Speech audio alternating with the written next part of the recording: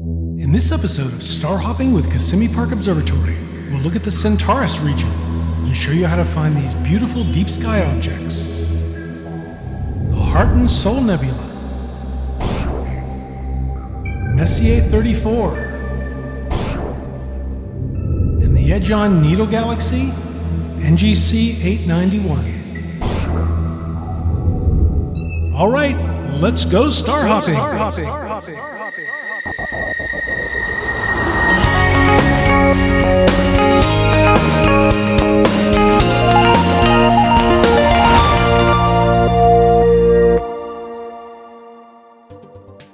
Hey, hello, hi, and welcome to episode 39 of Star Hopping with the Kissimmee Park Observatory.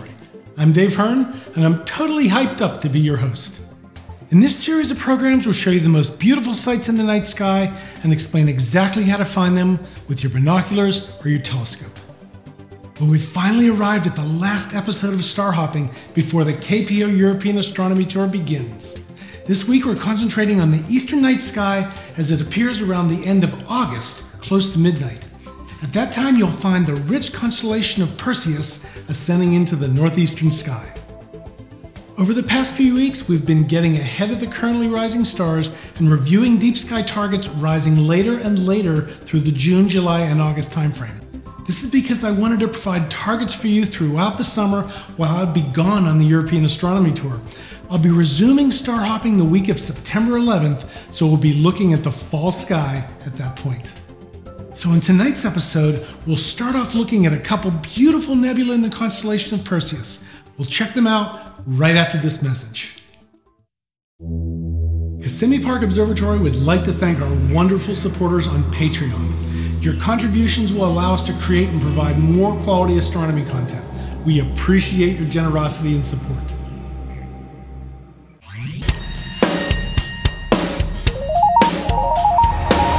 Star hopping target number one. Near the top of the constellation of Perseus lie two gorgeous but very faint nebulae called the Heart and Soul Nebulae. These two amazing emission nebulae are positioned just to the left of the famous double cluster, which we presented in episode 2 of Star Hopping.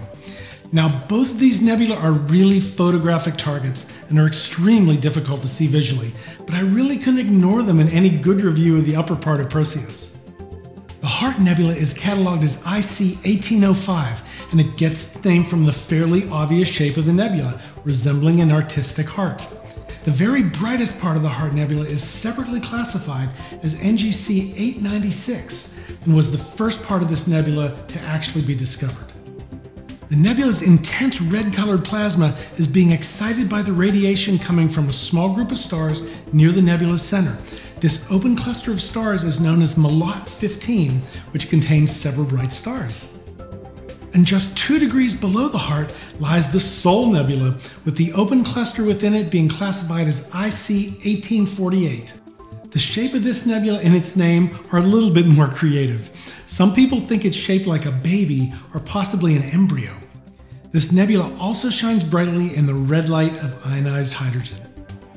These nebulae in the famous double cluster are easily targeted by drawing a line from the lowest star in the W of Cassiopeia, named Segin, to the top star in the head of Perseus, named Miram. The center point of this line lies right between the two nebulae and the double cluster.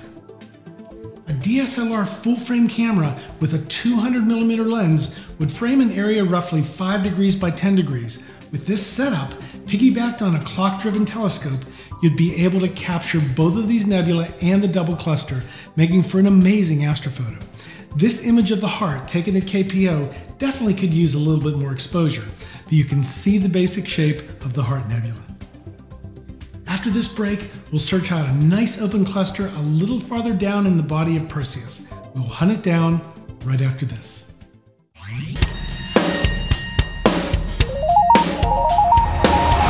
car hopping target number two. Messier 34 is a sparse open cluster that shines at magnitude 5.5 in the main body of the constellation of Perseus.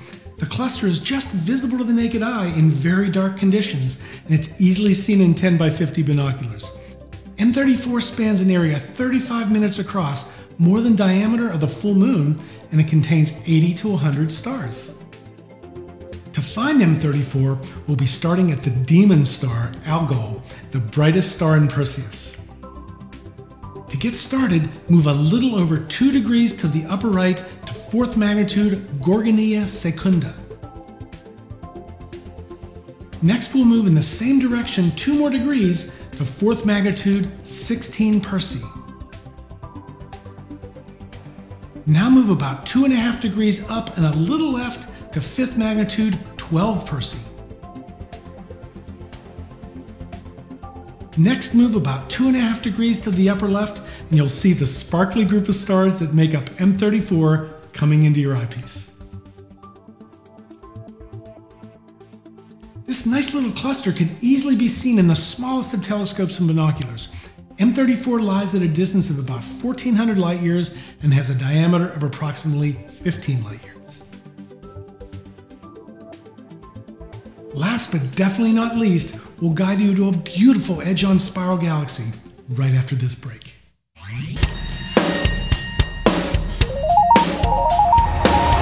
Star hopping target number three.